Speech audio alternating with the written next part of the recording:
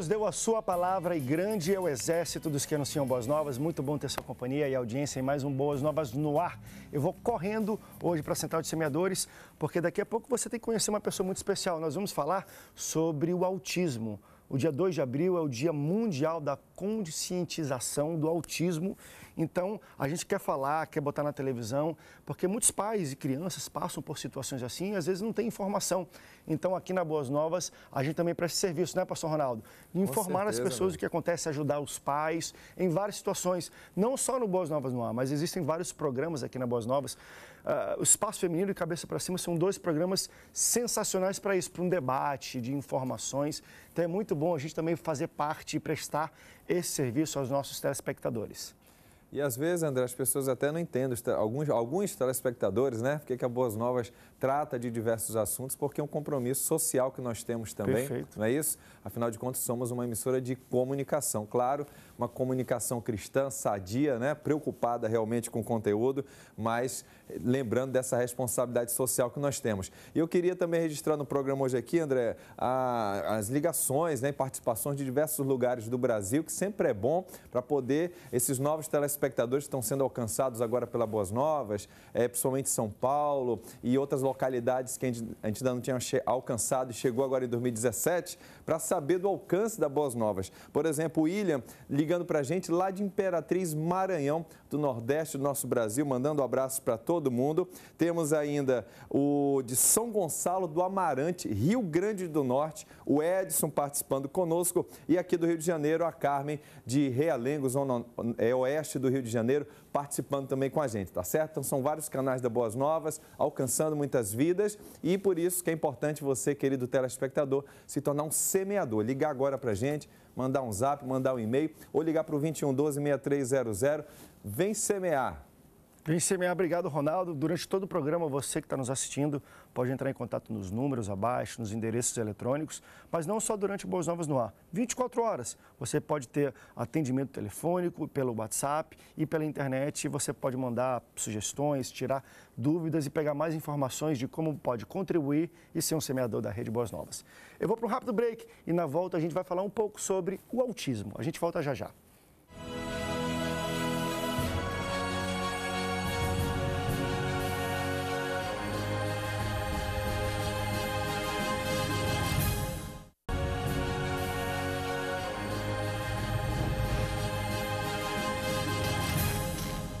Tenho o prazer de receber a Michele Senra. Ela é musicoterapeuta e presidente do Centro de Otimização para a Reabilitação do Autista, também chamado de CORA. Michele, obrigado pela sua presença. Obrigada e também num, num, mês tão significante, eu falei Sim. no primeiro bloco, que é dia 2 de abril, se não me engano, né? Sim. Dia Mundial de Conscientização do autismo. do autismo.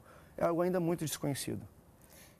Agora nem tanto. Okay. Mas quando eu, eu recebi o diagnóstico do meu filho aos 4 anos de idade, hoje ele está com 15, essa informação era muito reduzida. Não se falava na mídia ou na internet, até porque não existia a explosão das redes sociais. Então, isso dificultava muito o acesso à informação. Hoje a gente tem um pouco mais, mas essa ação que foi instituída pela ONU em 2008, uhum. né, de, de determinar o dia 2 de abril como é, é, o dia para se, se falar sobre autismo. Isso é muito bom. Então, se faz muito necessário que a gente divulgue ao máximo possível sobre a síndrome, né? Que para algumas pessoas realmente ainda é muito desconhecida, não só para algumas pessoas, porque é um transtorno muito complexo. E, eu acho que eu vou além, eu acho que eu posso falar. Talvez eu nunca tenha falado isso na televisão. Eu tenho uma filha de três anos que é autista. E, por mais que eu seja pessoa de mídia, já Sim. vi programa de TV, entrevista, quando acontece dentro de casa, você fica torcendo para não ser. Sim, claro. Vamos falar a grande verdade. É. E, e, e, você desconhece de fato, por mais que você verdade. saiba que tem, quais são um pouco dos sintomas, mas você não acredita até você ter um, um diagnóstico, vamos dizer assim, médico, que hoje Sim. até falam que é TEA, não é? Transtorno Isso, do, do espectro, espectro autista. autista Porque a gente imagina que autismo é aquela criança calada no canto né, que não é Sim. sociável, mas existe um espectro muito grande. Exatamente. Né? Acho que durante até o tratamento, falando com os doutores, ela falou que o Messi, o jogador de futebol, ele é autista. Ele Sim. foi diagnosticado. Então você entende que são pessoas muito funcionais, tranquilas, sociáveis, mas em algum sentido ela pode estar dentro desse espectro. Geralmente isso é diagnosticado na infância ou pode isso eclodir talvez lá, depois dos 20 anos, com 30 anos, que alguém pode desenvolver características que apontem para um, para um espectro autista? Não, é, é, essas características, segundo a literatura médica, ela tem que aparecer até os três anos de idade. Esse okay. é o marco. É, então, até os três anos de idade. Já vai apresentar alguma vai coisa. Vai apresentar alguns sintomas, né? Para que, que, que entre nos critérios de diagnóstico. Depois disso, não. Mas até os três anos de idade, a criança pode apresentar esses sintomas.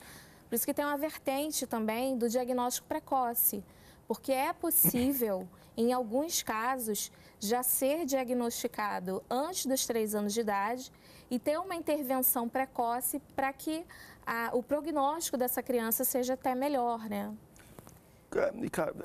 E eu vou por parte, eu tenho muita pergunta para fazer para você, claramente por estar, envolvido, estar dentro disso. Enquanto eu até faço algumas perguntas, uh, me fale primeiro sobre o Cora, que eu acho muito bonito. A gente pode mostrar algumas fotos enquanto a Michelle fala do projeto, porque para quem vive, eu falo isso porque eu vivo isso na pele, para quem vive situações dessa dentro de casa, por mais que você tenha acompanhamento médico, você sai de dentro do médico, você faz todas as perguntas. Você precisa procurar pais e pessoas que têm crianças com autismo dentro de casa. É, é o alento que nós temos para conversar e trocar experiências. O Cora, ele tem essa, talvez um foco muito grande nisso, na, na, na, na reunião de pais e de pessoas que vivem esse, vamos dizer assim, esse, essa mesma situação? Sim, totalmente. Até porque, assim, a proposta do Cora, quando surgiu, ela foi fundada por mães. Uau. Então, é como se fosse um grupo de apoio exatamente. mesmo. Exatamente. Que é, é, é, onde a gente mais sente necessidade. Exatamente. Então, assim, a proposta foi porque na região o, o Cora fica localizado na Penha. Então, assim, no entorno da Penha não tinha nada, assim, nenhum grupo de apoio ou instituições públicas que dessem é, é, apoio ou terapia mesmo para especializada para o atendimento de pessoas com autismo. Então, ele surgiu como um grupo de apoio e depois é, veio a parte clínica, né? E hoje em dia nós temos as crianças, que, é, crianças e jovens, não tem assim um limite de idade, okay. que recebem terapias e também nós temos o grupo de apoio para os pais onde a gente faz reuniões. Ah, e, e, até para a gente, a gente está vendo algumas fotos do coro de crianças brincando, pintando, é mal barato, acho adorável. As crianças. Uhum. Uma pergunta, até para as pessoas que estão nos assistindo e, não têm talvez tanto acesso à informação. Sim. Que, que bom a gente ter esse momento aqui para uhum. todo o Brasil. Quais são os sintomas iniciais que um pai ou alguém pode notar numa criança para às vezes até buscar um diagnóstico médico, mas que ela talvez esteja é, né, olhando, falando, eu acho que tem alguma coisa de diferente. Quais são os sintomas mais populares ou mais simples de se Sim. detectar numa criança? Eu acho que o primeiro que os pais normalmente identificam é a questão do atraso na, na linguagem, né? A, a, essa perda da comunicação social. Às vezes a criança tem uma fala, mas ela não é funcional. Ela repete o que você pergunta ao invés de dar uma resposta ou ela pega a, o adulto pela mão e leva até o objeto onde ela quer, mas ela não faz esse contato visual. É, mas é, é, contato visual também não é o, de, é o fator que determina o autismo, porque tem crianças Perfeito. com autismo que fazem contato visual. Perfeito. É mais a questão da comunicação social e do relacionamento. A forma como ela se relaciona com o outro é diferente e questões de comportamento também, estereotipias, é, comportamentos restritos. Então, são as características. Existem características físicas no sentido. É, é, é, porque muitas pessoas até perguntam, sim, né? Sim, sim. É, claro que não tem nada a ver uma coisa com a outra. Né? E eu sou até muito leigo, embora viva mas às vezes quando a gente ouve autismo, a gente pensa em, em situações tipo síndrome de Down e outro, que de alguma forma afetam o semblante de uma sim, criança, sim. a pigmentação da pele. No autismo. Não, não é esse o não caso. É nesse, nesse, não é visual. Não é visual. É comportamental e a, e a área mesmo da linguagem. Uau.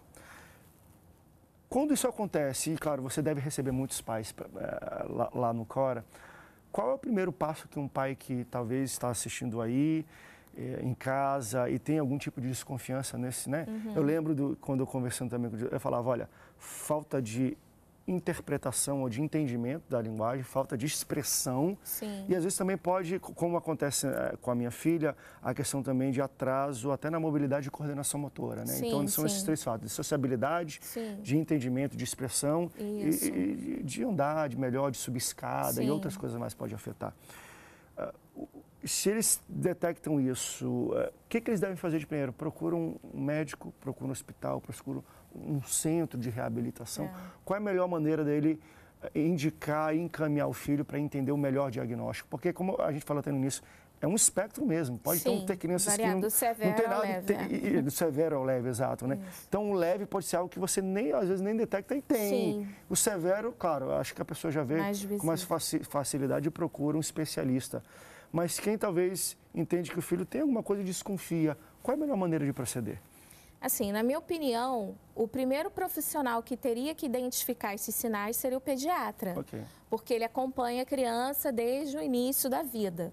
Né? Mas, infelizmente, assim, ainda alguns pediatras não têm esse conhecimento. Verdade. Verdade. Agora, é, eu acho que, assim, se os pais identificam que tem algo de diferente no filho, ele deve procurar um neuropediatra ou um psiquiatra infantil, são os dois profissionais que fecham o diagnóstico. E, claro, procurar ajuda terapêutica para melhorar esses aspectos, né? Se for o atraso da linguagem, um fonoaudiólogo, um musicoterapeuta, né? E, e, procurar grupos de ajuda, né? Grupos de pais, eu acho que é muito importante, porque, assim, a experiência do outro pode hum. não ser igual à sua, mas pode te ajudar né, de alguma forma. É, e quem vive de fato, acho que atestaria isso, né? Grupo de apoio, pessoas que você pode trocar experiências, né? Porque, como você falou, você já tem, seu filho está com 15, 15 anos, então você já viveu praticamente Sim. há 15 anos de experiência lidando Sim. com a situação, vendo o que, que dá certo, o que, que pode melhorar, o que, que não pode. Falando para um pai que uhum. acabou de descobrir, por isso que a gente vai conversar muito ainda, tá? Eu vou para rápido intervalo e daqui a pouco a gente volta, até para entender. E como é que eu trato isso? Tem remédio ou tem que ser uma escola especial, um tratamento especial? A gente vai falar um pouco mais ainda sobre isso. A gente volta já já, não sai daí.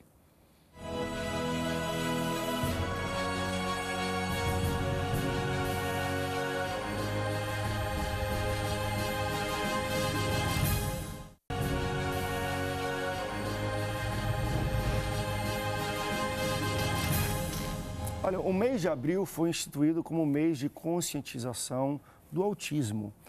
E a cor escolhida é a cor azul. Né? Tem o, o, da mulher rosa, do homem também tem o novembro, eh, acho que é novembro azul, outubro rosa, mas o abril também é azul de conscientização ao autismo. E a gente vai ver um vídeo agora do concerto azul promovido pelo Cora. Veja só.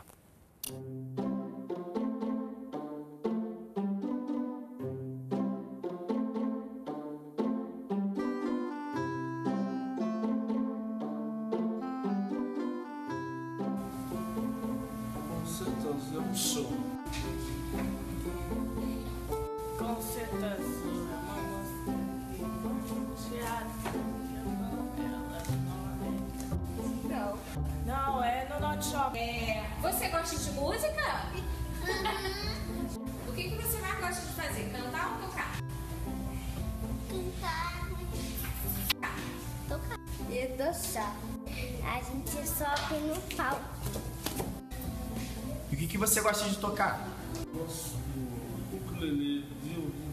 Ah, o que eu tô tocando aí é violino. Eu gosto do violão. E o ukulele? Eu gosto de tocar bateria, mas só, só vou ganhar minha bateria de aniversário. Cantar a música do Aleluia. E quem que você vai chamar para o Concerto Azul? Os meus primos vão. É? E todos os alunos da escola Ainda eu tô pensando. Ah, é? É, eu vou convidar alguém. Então convida o pessoal aí. Vem pro Concerto Azul.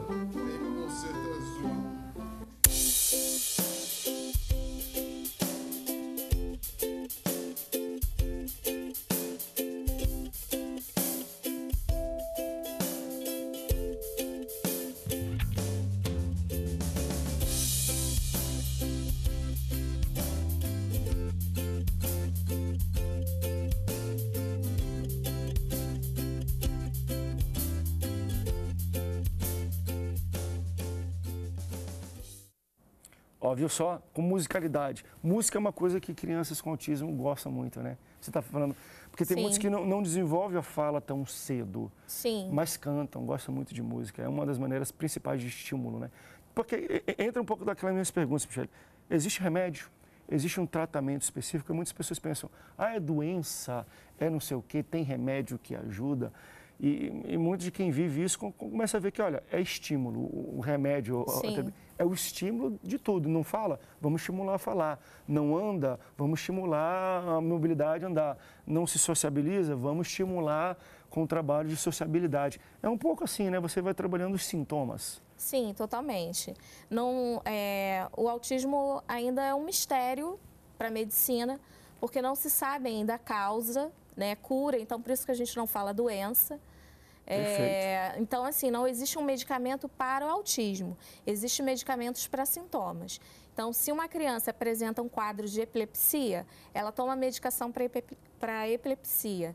Se ela apresenta um quadro de agressividade, para agressividade. Então, existe medicação para sintomas. Nem todas as crianças com autismo necessitam de medicação. Agora, o estímulo terapêutico, ele é muito importante, justamente para estimular áreas que têm algum déficit. E, e, são estímulos específicos, porque assim, Sim. num colégio, às vezes numa creche, existem estímulos. Sim. Mas um, para uma criança autista, de fato, tem que ser um pouco mais cuidadoso esse estímulo, correto? Sim, é, existem métodos e abordagens específicas para o tratamento de pessoas com autismo.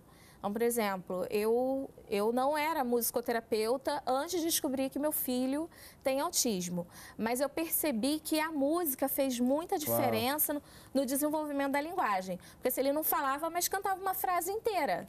E aquilo me intrigava.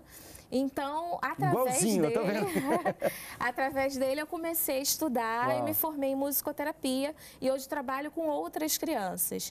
É, e a gente realmente começa a perceber é, é, que às vezes eu tenho crianças que começou a falar as primeiras palavras com 14 anos.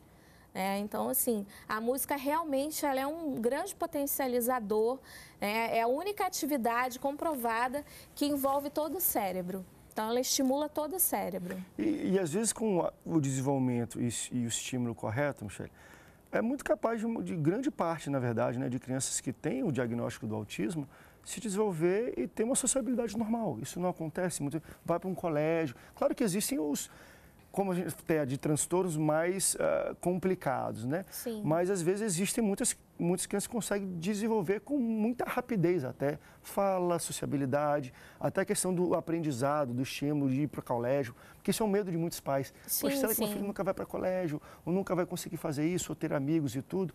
Uh, e isso é algo que você vai quebrando com o tempo, eu acho. Por isso Sim. que é tão bom o grupo de apoio, né? Não, com certeza. Assim, por lei, toda escola regular ela tem que aceitar a matrícula da criança com autismo ou com qualquer outra okay. é, necessidade né, especial. É, e também dar o suporte educacional, como um mediador, né, que, que dê esse suporte para essa criança. E a escola ela tem que ter esse papel de socializar, de ajudar nessa socialização. Na musicoterapia, eu gosto de trabalhar em grupos, justamente para facilitar essa interação. É, e por isso até que surgiu esse conceito do, do concerto azul, né? porque a gente ensaia em grupos e a gente trabalha essas relações e conflitos. Uau. Porque em grupos é que surgem diversos conflitos. Isso também, de uma certa maneira, ajuda a escola. Uhum. Porque se, se na terapia a criança já é trabalhada em grupo, fica, você facilita também o trabalho dela de inclusão na escola, porque ela aprende a conviver com o outro, a lidar com o outro. Então, essa sociabilização fica muito mais fácil. Então, o Cora é algo social para pais Sim. que precisam Sim. de questões tem dúvida ou, alguma coisa, leve o seu filho lá. O site está aparecendo na sua tela enquanto a gente fala. E é um pouco isso mesmo, funciona. Só para a gente falar um pouco do centro em si, para os pais que estão nos assistindo. Claro que é na Penha, no Rio de Janeiro, né? No Rio de Janeiro, Talvez a acessibilidade são para pais que têm no Rio. Eu imagino que tem em todo o Brasil ONGs ou projetos sociais Sim, tem, voltados certeza. à conscientização, tratamento Sim. e acompanhamento disso. E também, às vezes, até clínicas particulares. Fica a cargo, acho, de cada família. Mas o CORE, especificamente, ele é um pouco assim, o pai que o, o, o, pai às vezes tem dificuldade, não sabe detectar, ele leva diretamente às vezes no coro, olha, me ajuda porque eu tenho isso. É, Pode acontecer isso e, e, vocês recebem as crianças dessa maneira Sim. e ajudam no desenvolvimento? É, lá a gente não fecha diagnóstico porque nós não temos um médico para fazer esse, esse serviço, para oferecer esse serviço. Okay. É só a parte terapêutica mesmo. Entendi. Então, o pai ou a mãe que queira procure tratamento, enfim, entra em contato, ele, é, a gente, ele passa por uma triagem, né, a triagem social e a triagem clínica, Perfeito. porque a gente oferece um serviço social. Né, os atendimentos não são cobrados. Uau, fantástico. Porque não é simples. É, é, para você, eu acho tão bonito, até dando parabéns para a Michelle, para quem acompanha, para você acompanhar, dependendo dos casos, né? Mas às vezes no caso até inicial, você tem pediatra, você tem neuropediatra, às vezes entra até um neurocirurgião, se for necessário ter outras coisas mais complicadas, e de vez em quando também geneticista. Eu estou falando de quatro profissionais médicos que não é barato, é caro. Sim, muito. Digo isso porque sinto. Então, e às vezes você precisa de um acompanhamento, se é uma coisa um pouco mais grave mesmo, em casa, de ajuda, para um pouco a vida do pai e da mãe. Ah, dependendo do, né, do grau, uhum. às vezes a mãe tem que ficar cuidando mesmo do filho, isso impede que ela vá trabalhar. É, é, algo numa família que de fato impacta muito a questão financeira, muito. do tempo, requer uma atenção especial. E você pegar tudo isso né, num acompanhamento e ter alguém que fala, não, a gente faz, claro, tem que ter uma triagem pela capacitação, pela espera, é muito bom. Eu, e eu quero até sugerir a você entrar no site, ver como você pode ajudar, até financeiramente. Você não sabe o quanto famílias precisam de trabalho, de ajuda, de acompanhamento com filhos que têm autismo, né? E tem muitas pessoas que não podem mesmo, têm dificuldade financeira para isso, e isso traz um sofrimento muito grande para as famílias. E o Cora faz um trabalho muito bonito que é exatamente esse, André. A gente recebe e ajuda as famílias. Uhum. E quantas famílias hoje você já tem ajudado, ô Michele? Então, nós temos em torno de 70 crianças meu, e jovens. Meu Deus, 70? sim, é sim. muita gente. Sim. De uma vez só, ou tipo que vocês ajudaram? Agora existem, vocês Sim. estão atendendo a 70 crianças isso. simultaneamente. Crianças e jovens, isso. Meu Deus do céu, 70 uhum. famílias. Poxa, 70 parabéns. Famílias. Eu tenho, tenho dois minutos ainda. O site está aqui, olha. É, Cor Autista, tudo junto, corautista.org, está aparecendo na sua tela. Vai lá com a Michelle, entre em contato com ela porque se você está passando, a sua família está passando por qualquer situação assim, vocês precisam acompanhar, ter ajuda e, claro, um grupo de apoio que vai ajudar muito vocês. Michele, parabéns pelo trabalho, Obrigada. que Deus te abençoe. Lembrando, esse é o mês de conscientização, tá? O Abril Azul. Então, vá na sua rede social, procure nas redes sociais algum, alguma arte, alguma coisa, faça um post, passe à frente, fale na sua igreja um pouco sobre isso, que você vai estar ajudando muitas famílias que precisam. Obrigado, Michele, pela sua presença. Obrigada. Obrigado pela sua audiência. Deus te abençoe e até o próximo Boas Novas no Ar. Tchau, tchau.